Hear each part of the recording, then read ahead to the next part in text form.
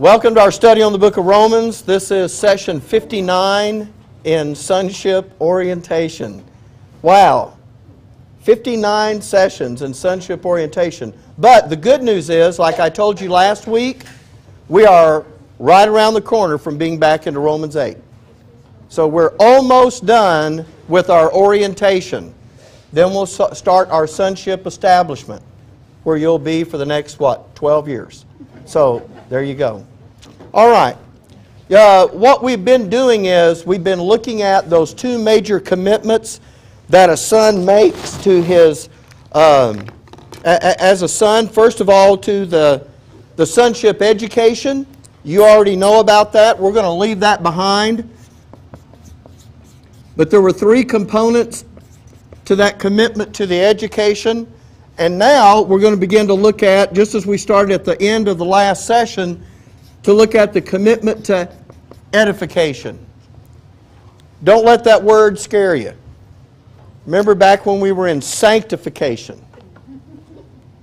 I can remember um, my, my buddy out in Nebraska calling me up a few weeks ago and he said, Man, that stuff on sanctification was great. He said, especially because now I understand what sanctification is.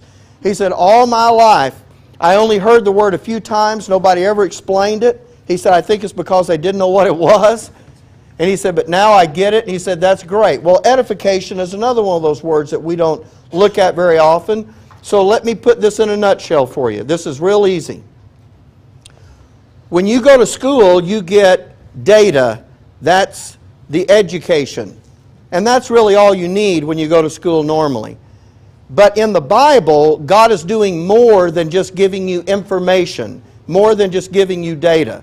What He wants to do, and what this book has the power to do, is it has the power to effectually work in your inner man. Uh oh, now I've done one of those other terms, effectually. And we've, we've talked about that a little bit. It means more than just being effective. But this book, because it is the Word of God, has the power to take the words that are printed on the page and produce something in you that is very real that you can live out of every day. I tried to illustrate that the last time by talking about when you go through the sufferings of this life, there is a doctrine that is given to you in the Bible that allows you to be able to endure those sufferings. In fact, there's a step up from that doctrine that will eventually, and with regard to the sufferings of Christ, allow you to not just endure them, but to take pleasure in them. And, uh, and there's a sense in which the Bible talks about that. And then, of course, as you become a, a more fully educated son, to actually begin to rejoice in tribulations. That's something that without an effectual working could never happen. The only thing that would happen then is that you would be going through uh, calamities and tribulations and sufferings and distresses and all those kinds of issues, and it would just be like one thing after another taking its toll on you. But this book has the ability to produce something in you that you really can rely on and you can live out of that is beyond. It is a power that God is manifesting in us that is beyond anything that's ever been put on display in this world. Now, we are going to get to that but what I'm trying to say is this it's more than just getting a bunch of Bible facts. If you're really going to become an educated son or daughter of your Heavenly Father that's going to be able to properly function in the heavenly places, you're going to have to make that commitment to the education, but then you're also going to have to have a commitment to the edification. And just as the education had three parts to that, that measured that commitment, there are three issues with regard to the edification. But for the edification, it's a little different. And I'm glad that it is because the commitment to the education was all about our commitment. The commitment to the edification, what you're going to see is that God Himself is going to undertake to do three specific things. And what He is trying to do is get you to so believe so trust what he is going to tell you that that edification will take place because here's your part in the edification to believe what he says. And that's really what it's going to be about. Can you believe what your Heavenly Father is going to tell you. Now, with that in mind, let me take you to the verses that we're looking at. This is the exhortation back in Israel's program. Take a look in Proverbs chapter 2, and here are those three issues and the result of those three issues. Proverbs 2, beginning in verse 6. For the Lord giveth wisdom, out of his mouth cometh knowledge and understanding. He layeth up sound wisdom for the righteous. He is a buckler to them that walk uprightly. He keepeth the paths of judgment and preserveth the way of his saints. Then shalt thou understand righteousness and judgment and equity, yea, every good path. And you can see there the way verse 9 introduces itself as if those, three, those first three things are properly accomplished and believed, then there is a result, a benefit that you have from that. And what that benefit is, is that that thing that you learned that was just information or data has now effectually, it's become your edification. It has effectually worked to actually produce all those things in you, and you're able to live out of those on a daily basis. now, I gave you last time the three issues that are contained in these verses. Let me put them up on the board for you. I don't have a note taker for you today, so I'm giving you a day off. All I ask is that if you go to sleep, don't snore. That's all I'm asking. Here we go. The three issues regarding the commitment to edification are first of all, the nature of the curriculum. He is going to show you the nature of his curriculum, and that's intended to produce something in you. The second one is the trustworthiness of the one who wrote it. And who is the one that wrote it? Right, that, that, that curriculum for us is contained in His Word, and God is the author of that. Now, men may have written it, but they're, they're inspired of God to write that, and that record has been preserved for us without error. The third one is the value of being edified by what you learn. Those are the three issues that we now have to look at briefly. And I told you there was two things we were going to do before we got back to Romans 8. And that is to briefly look at these issues about our edification. And the other thing is to kind of get ourselves oriented to the first thing that we're going to encounter in that education so that we've kind of been set up in our mind and we know what's coming. Now, the first thing God does as your heavenly Father and you as His adopted sons and daughters, what He does is he is going to demonstrate the nature. I'm going to go back to number one, and we're going to spend a little time on that. He is going to demonstrate the nature of his curriculum. And when I talk about the nature of his curriculum, I'm talking about the character of that curriculum and the fact that it, it is a certain kind of curriculum. Now, you know what a curriculum is. It's something that you would lay out to do a course of study. And if you are going to get, when you, doesn't matter, if you die and you go up to the third heaven and you're absent from the body and present with the Lord, that's great. But as soon as this age is over and the rapture happens, that soul and spirit is coming back. That body that was put in a casket is going to get reformed into a glorified body. Your soul and spirit is going back into that glorified body and then you're going to go to the heavenly places. That's the whole reason you're given that body, is because you can't function out there in this body. That would be tough, wouldn't it? First, you'd have to hold your breath a really long time. There's no air out there. This, this wouldn't work for you. so God equips you with everything that you need to do that. When you get up there, you're go- well, I've left out a few things, but we'll go through the judgment seat of Christ, all that kind of business. But when you get up there, you're going to be placed into a certain position in the heavenly places. And the position that you're going to be placed in is the position that is commensurate with what you know how to do. If, if NASA hired me today and said, What can you do? I go, I, What kind of jobs have you got available? You know what I'd probably wind up doing at NASA? Gloria? All right, let's be real about it. I'd be sweeping the floors. Thanks a lot, Gloria. Because that's all I'm qualified to do. I mean, what if they said, you know what, we need you, need you to engineer the, the you know, the engines on this rocket, or, you know, uh, we need you to redesign the inside of the shuttle, or, you know, we, we need you to calculate a new trajectory, you know, for how things, you know, who would want to climb in that ship after I did that? But I'm not qualified to do that. What this education is doing is qualifying you to go to work with your Heavenly Father in His business every day in eternity. And that really is, you know, as uh, we've talked about this plenty of times, what everybody wonders what am I going to be doing in heaven? The idea that you're going to get in your heavenly hammock and strum a harp and just kind of go back and forth in the breeze and sip lemonade is not what the Bible tells you about. There's a I remember I remember working with a preacher in Baton Rouge, and an evangelist came in one time and he's preaching. He said, When you get to heaven, you're going to work. I remember the preacher leaning over to me and he said, I ain't going. Um, I'm wore out. But the thing is, when you get to heaven, work is not going to be like it is for you now. Because you're really created for that kind of work, and you're going to have everything you need to get that kind of work done. And, and, and it's going to be, and by the way, what you're going to be involved in is the most glorious and wonderful thing that your eyes will have ever seen. There is nothing that has ever taken place on the face of this earth that will hold a candle to what's waiting for you up there. So, of course, what we're trying to do is get this education.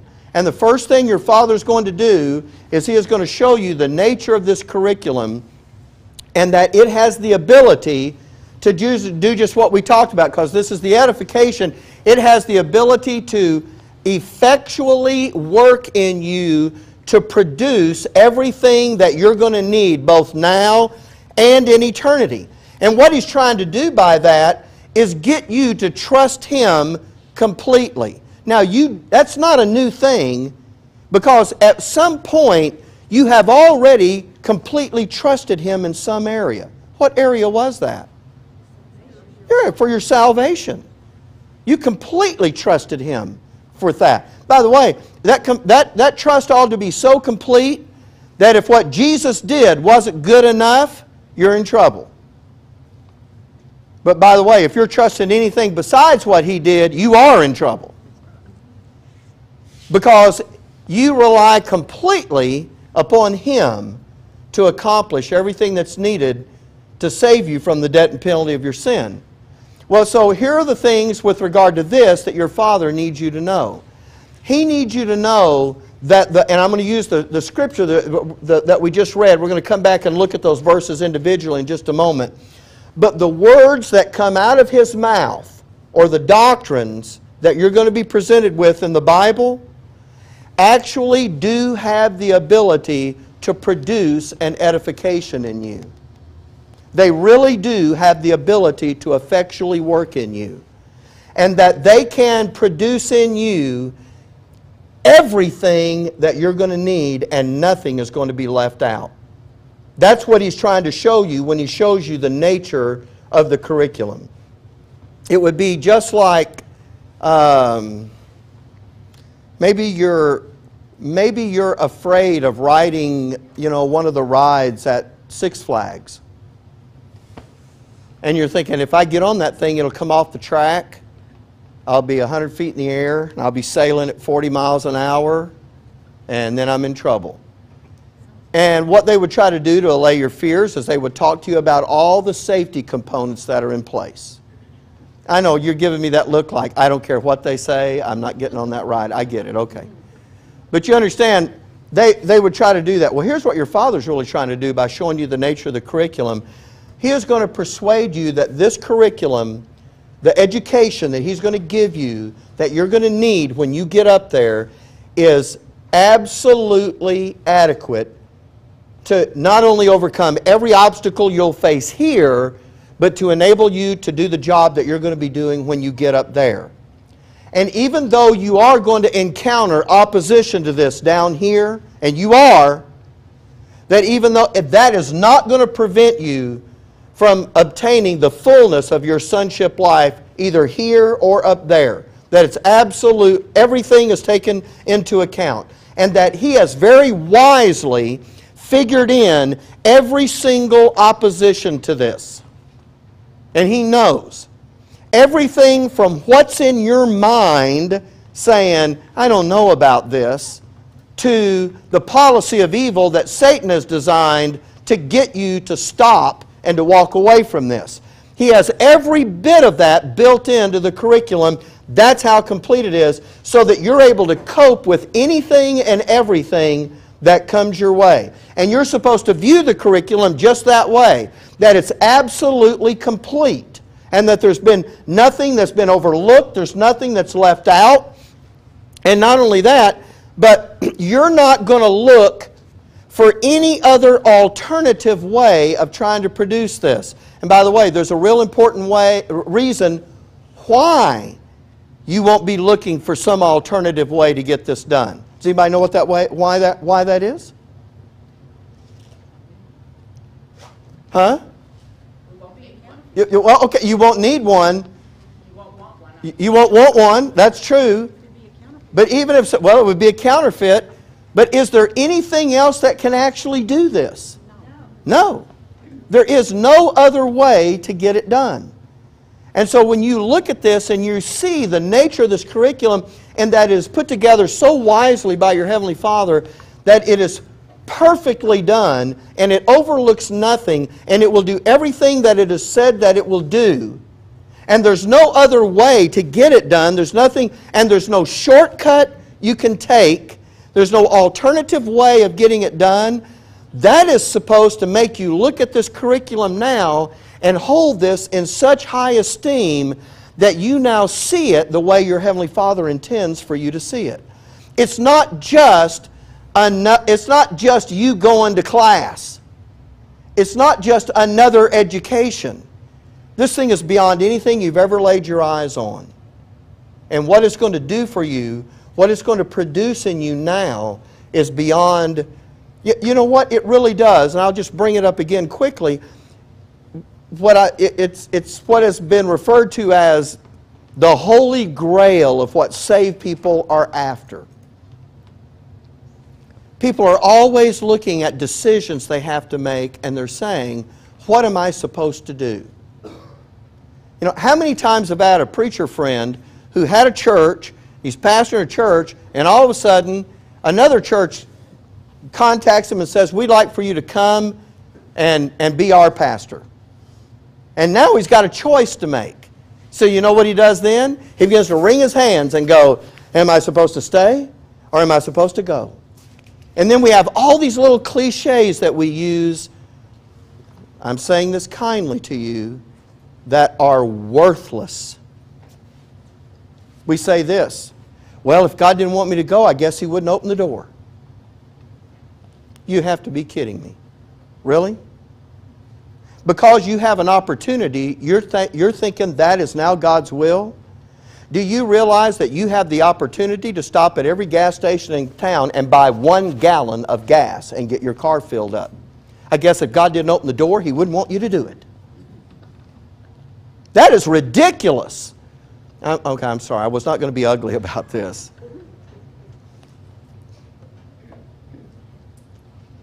I don't have a better word. That's ridiculous.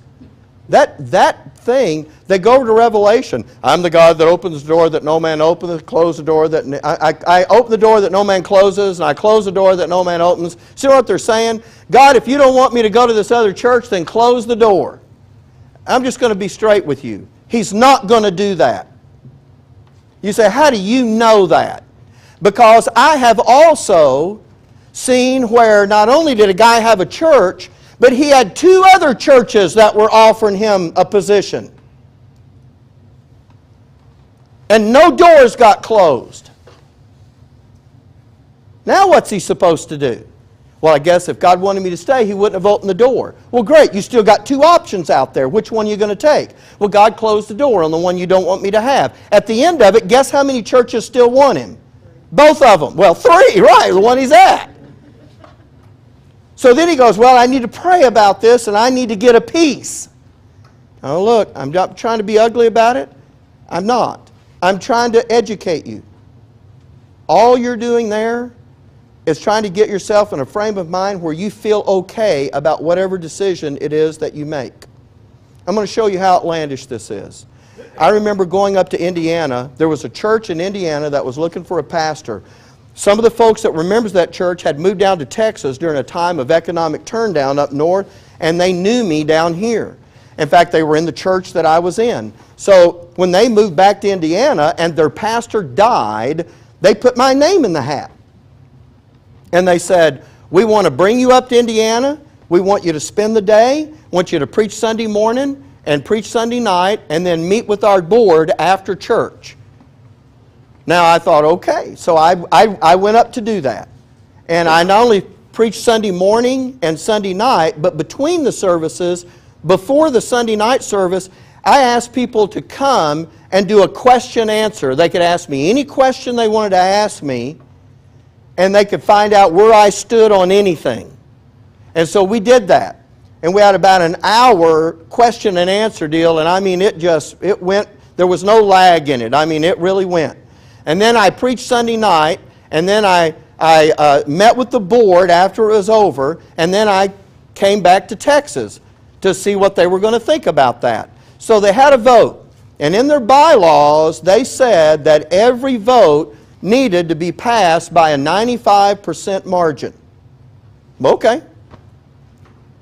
Well, they had a group of people who were involved in a singing ministry.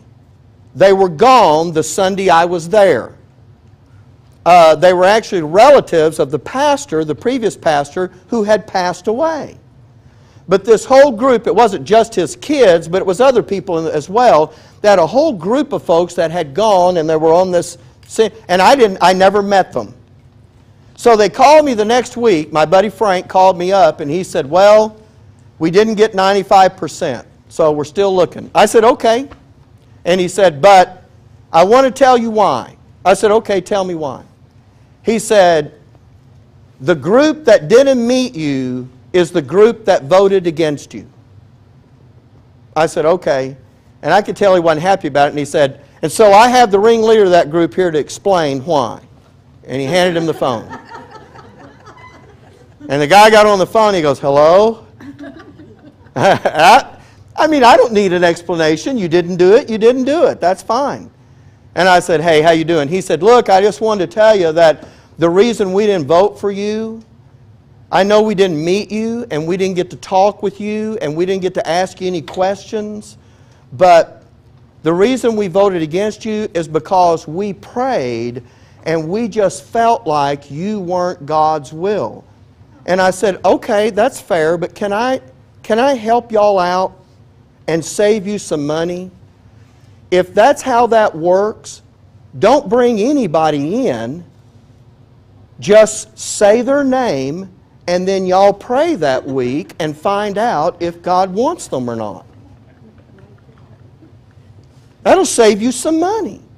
Because really, you brought me all the way to Indiana and put me up for a couple of days and then brought me all the way back home, and you didn't need to meet me. You don't need to meet anybody then, do you? He went, Well, I mean, I said, No, I'm just trying to be consistent with what you're telling me. You don't need to meet anybody. All you need to do is pray and see how you feel about it. Right? Who would carry on their life that way? Who would carry on their life that When you went on a job interview, you should never ask how much they're going to pay you. You should just pray and say, God, do I get this job or not? Because if he tells you that's the one, then that ought to be all, it ought to be over, right? I'm just trying to use this argument and show you the absurdity of it. Why even ask how much am I what am I going to be doing? All you need to know is does he want you to have it? Right? Let's quit being hypocrites about this process. It either works that way or it doesn't. All the rest of it is nonsense. If that's really how it works, you pray and find out about it, and you don't need to know anything else. Yes? Now that's a tough pill to swallow, isn't it? I, I, was as nice as I could be about it. I'm trying to get you how we have invented. Here's my real point. Did you ever find that in Paul's epistles to instruct you to do that? Where did you get that? Because you didn't get it out of the doctrine that belonged to you. Where did you get that idea? You got that from other people who don't have a Bible verse for it either. And you know what? Let's just take that back to. Uh, okay, I'm not upset. I'm not upset. I know everybody's, my wife's looking at me like, calm down. But look, let's go back to Israel's program. In Israel's program, that's not what they were doing either. That's not what they were doing. Okay. I, I, I think you get that idea. Now, I got off on that because what I'm trying to show you is what you're being told here that's going to edify you folks is not how you feel about something. What edifies you is not how many people told you they thought this is what you should do. What is it that edifies you? There's only one thing. What is it? It's the Word. It's the Word. And if you can't find it in the Word, leave it alone. Because you're just asking for trouble. I see a guy say, going for a job interview and he's saying, Oh God, you know, if this is your, if this is your will, I just let, you know, let them offer me the job. Then they get, he gets the job and he goes, Man, God gave me this job. Of course, I'm, I don't ever argue with people about that. I don't. I'm saying this to you now because I'm trying to teach you something about your Bible. But that's fine. But when he says, you know, I know God gave me this job. I know God gave me this job. You'll never convince me God didn't give me this job. A month later, he's quit. And you go, well, you're not working over there? No, the boss was a jerk. Well, wait a minute. Didn't God know that when he gave you the job? Did that surprise God? Do you know what that was? He needed a job and he took the job. And when the job didn't work out the way he wanted, he didn't want it anymore, so he quit. Let's just be honest about it.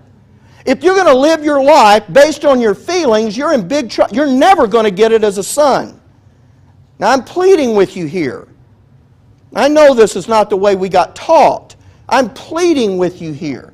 And you know when this is over, I'm not going to go buttonhole anybody. I have never done that in the years I've been here. I'm not going to start now. But I am going to tell you the truth now because you didn't bring me here to tell you what you wanted to hear. And that's not what we're doing. And that's, and that's not going to happen. So the only way to do that is to get rid of me. And I'm going to go kicking and screaming. So here's the deal. You're supposed to view this curriculum as being absolutely complete. That's what's going to effectually work in you and you realize there's nothing else that can do what it's designed to do. And so what I did last time, and I just that's where we left off, so that's where I want to take you. How time we got left? As I want to take you back to Romans 8, because all I did is show you when we get back to Romans 8, I just pointed at the doctrine. You know, let me just put it up here. I just pointed at the doctrine that's going to show you the nature of the curriculum that is supposed to produce in you an absolute trust in what your Heavenly Father tells you. Listen, I, I have no agenda here except this one. I do have this agenda. My agenda is to get you to believe the words that are written in this book and not to trust anything else. And if I say it, and that's not what this book says, you throw my words out and you go with this book. Yes? It's this book that affects. How many times have I told you, I, I can't produce edification? My words won't do that. Only God's word can do that. And if you're going to make it as a son, you're going to have to get focused on His Word and His Word alone. And the reason I'm being so insistent about this is because if you look around, what is sweeping over us like a tidal wave is preaching and teaching and believing and, and, and singing that, that takes us in just the opposite direction. And if we're going to make it, this is part of the hard price you're going to pay of saying it's either God's Word or it's nothing. And, and, and there is no other option. Now, you may not yet see that, but I'm trying to lay the groundwork so that you can. And so when he shows you the nature of the curriculum, let me take you back to Romans and just show that to you. Romans 8:31. He begins to ask you this question. What shall we then say to these things? He said, What are we going to say about this? Then he does a series of questions. If God be for us, who can be against us? We did this last time. Just answer that. If God be for you, who can be against you? Nobody. It ought to be enough, right? Sure. Look at this next one. He that spared not his own son, but delivered him up for us all, how shall he not with him all, uh, uh, uh, also freely give us all things? Well, he would, wouldn't he? Everything you're going to need. All things doesn't mean everything that pops into my brain that I can think of. It means everything you're going to need in this sonship education and edification. Verse 33 Who shall lay anything to the charge of God's elect? It is God that justifieth. Who is he that condemneth? It's Christ that died, yea, rather that's risen again, who is even at the right hand of God, who also maketh intercession for us. Who shall separate us from the love of Christ? And then he gives you that whole list. We've kind of looked at this before. Shall tribulation or distress or persecution or famine or nakedness or peril or sword, as it is written, for thy sake we are Look what he says. We're killed all the day long. We're accounted as sheep for the slaughter. Nay, in all these things, we are more than conquerors through him that loved us. It doesn't matter what comes against you, this curriculum has the ability to make you more than a conqueror. You know what that means? This thing wasn't, those things that come against you weren't intended to make you a conqueror. What were they intended for? to conquer you, to make you quit. This curriculum has the power to take the very thing that is supposed to conquer you and make you quit.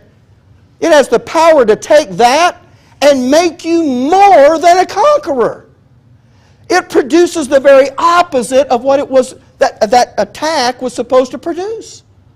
Now that's a powerful curriculum that that only happens in a son who's not only educated, but edified.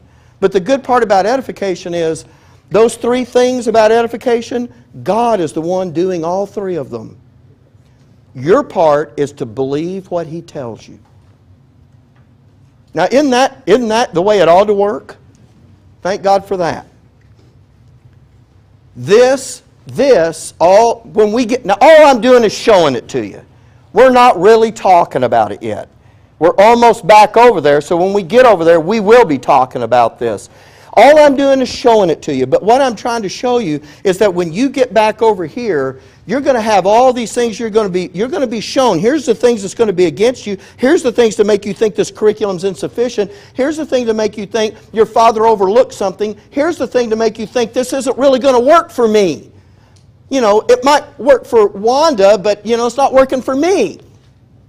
Well, you know as well as I do, if it works for Wanda, it works for anybody, right? Welcome back, Wanda. Okay. Now, look, here's my point. You're going to be confronted with all of those issues. And what God is going to get you to the place is where you're going to make the, the statement that Paul makes in the next verse.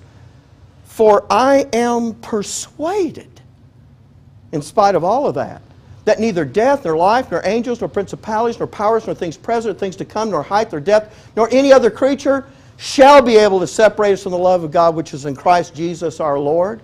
Oh, I'm supposed to have a stop there.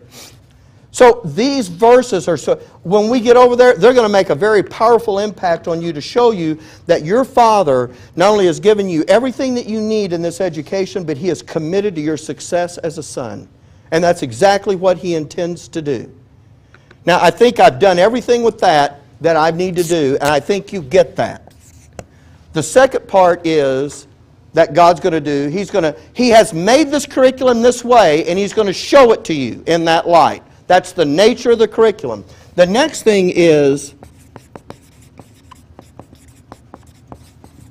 the trustworthiness of the one who wrote it. And that is God's Word, and He's the one that wrote it.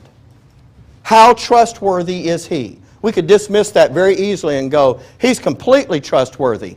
But you know what? Me saying that to you and you just saying He's completely trustworthy is not the effectual working of that doctrine to produce that assurance in you.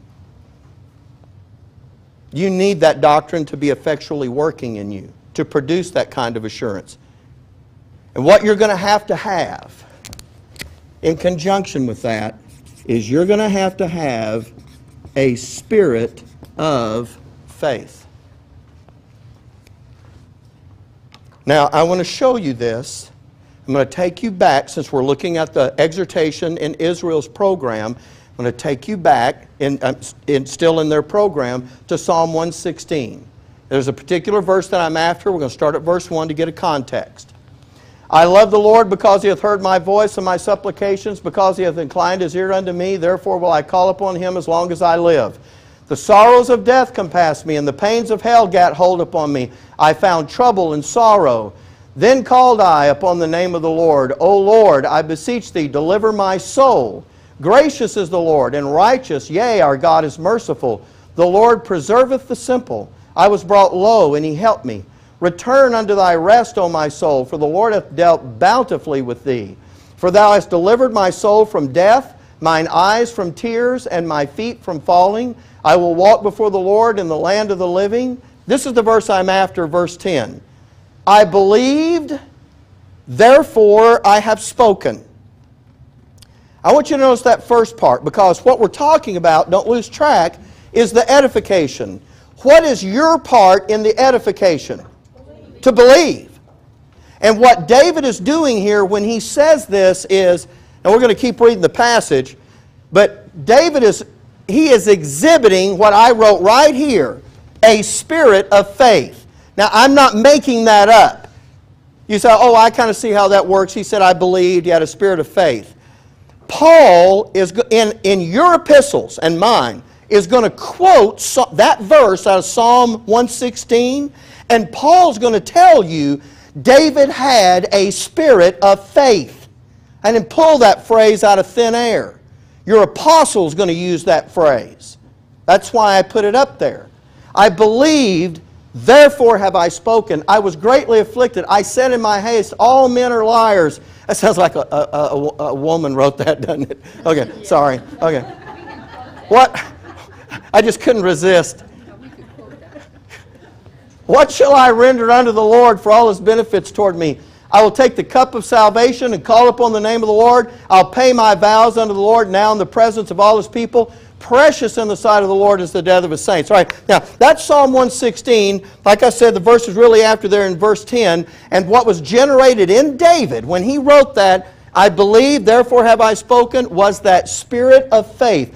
What was he believing? You tell me. What was he believing? He was believing what God had said, was he not? Was he making up what he wanted and said, I just believe that? No. no. Listen to me. Faith, oh, there's 10 things we need to do with this. And I just, I called this down. But look, faith is all about believing what God tells you. Today, there's this big move on that you just believe whatever it is you want to believe, and if you have faith, God will do it. You put the cart in front of the horse. Let me let turn turn with me. I want to show you Hebrews 11. This is not in your notes, but I'm just thinking about this while we're at it. Everybody calls this the great faith chapter, but you know this is in the book of Hebrews, so this is for the believing remnant that's out there in the day of wrath. And they're going to be called to believe some things too. They also are going to have to believe some things. Just like you're going to have to believe some things. They're going to be called to believe some different things because you're going to be saved from that day of wrath. But I want you to look in verse 11, uh, chapter 11, in verse 1. Now, faith is the substance of things hoped for, the evidence of things not seen. Now, look at this. Verse 3. Through faith, we understand that the worlds were framed by the Word of God. How did you understand how the world came into being? How did you ever understand that? How do you know how this world came in? The Word told you that, didn't it? So if you believe that, you're not believing how the world came in because it's your idea and you just believe it. You're believing what God told you. I want you, uh, uh, just keep going through here. Uh, uh, let's see. Um, verse 7 By faith, Noah, being warned of God of things not seen as yet, moved with fear, prepared an ark to the saving of his house. Wait a minute. Did Noah say, I just think I need to build an ark and I'm just going to have faith and I'm just going to do that? Or did he do that because he was told something by God? See, he was told something, and that's what his faith was in. By, verse 8, by faith Abraham, when he was called to go out into a place, did Abraham say, I think I'm just going to leave my homeland and I'm just going to trust God, I'm going to believe, I'm going to have faith, and God's going to bless it, and He's going to multiply it, and He's going to... No, who told him to do that? And he believed what God told him. That's the faith he had. When you look at that, verse 9, by faith he sojourned in the land of promise as in a strange country. Who told him to do that? God told him to. He was, he was put his faith in what God told him. Verse 11, through faith also Sarah herself received strength to conceive seed and was delivered child when she was past age because she really wanted it real bad and she just claimed it by faith because she believed him who promised. That's what her faith was in. We have this backwards. Nowadays, what we want to do is we want to say, you just see what you want to believe and you believe it real hard and God will just honor that. I don't find that as a Bible doctrine. And someone says, well, I don't care what you say. I did that and look what God did. It may, I'm not saying it didn't work that way this time or that. I'm just saying God didn't do it. Faith is in His Word. That's the point I'm trying to make here. And you could keep going. I think you've seen it. But I mean, this whole thing is through. By, by faith, this one did this, and by faith, this one did that. They didn't dream up any of that. They were told, and they believed what they were told. What did David say? I believed, therefore I have spoken. He said, What I'm talking about is what God's talking about. That's what, and when you're, when you're going to be edified and you're talking about the second thing God's going to do is He's going to demonstrate how trustworthy He is. The one that wrote that curriculum can absolutely be trusted that this thing is right. That's the point that He's trying to make. Okay, we're almost out of time, so I need to get back to this. Let's see. Um, I want to give you this verse, 2 Corinthians 4, because Paul's going to quote this verse over in 2 Corinthians. Now, I need to set up 2 Corinthians very briefly. You know that 2 Corinthians is one of Paul's epistles, so that's us. You also know that he writes 1 Corinthians because they've walked away from their sonship life. They've decided they don't want the suffering that goes with that. They walked away from it. But when they got them, he wrote 1 Corinthians and they got themselves back on track but there, that did not do away with their sufferings and tribulations. So he writes 2 Corinthians to them to say, here's how you're going to deal with those things that come about in your life. And so as he begins to do this, now with that kind of in your mind, as he's describing the, the sufferings of Christ and what they're going to need, I want you to see what he says. Look in 4 7. But we have this treasure in earthen vessels. Now, that, uh, I'll talk about that treasure in just a moment, but does anybody understand what the earthen vessel is? That's us. These bodies are pretty frail, aren't they? And boy, when they fall heir to things, oh boy. We have this treasure in earthen vessels that the excellency of the power may be of God and not of us. In other words, the things that are going to come your way, you're not going to have the power to overcome those. But there is an excellency of power that is of God. And you know what? He's not, he's not talking about turning earthen vessels into, into iron vessels. Those vessels are still, by the way, Did your body get redeemed when you trusted Jesus to be your Savior? No, it did not. It's the same old body. I mean, I'm saved. I'm still as bald headed now as I was. Well, I got saved before I was bald headed, and I still went bald. What does that mean? Let me just get, let me, let, let, okay, this is a perfect place to stop. Because what I'm going to show you in the verses following here is a list of what Paul is going to describe as the excellency of the power. And I'm going to tell you now that most pastors today will scoff and laugh at this list. They do not see this as the power of God, let alone the excellency of the power. Instead, they would look at this list and say anybody that was under the things listed here are nothing but losers and, and, and folks that, you know, aren't doing the right thing. Paul is going to say, I'm going to show you a list where the excellency of the power is going to be manifested. And it is a power that is greater than you might imagine, but we need to read through it to be able to understand it. So we'll take our break and then we'll come back and we'll take a look at it. Okay, you're dismissed.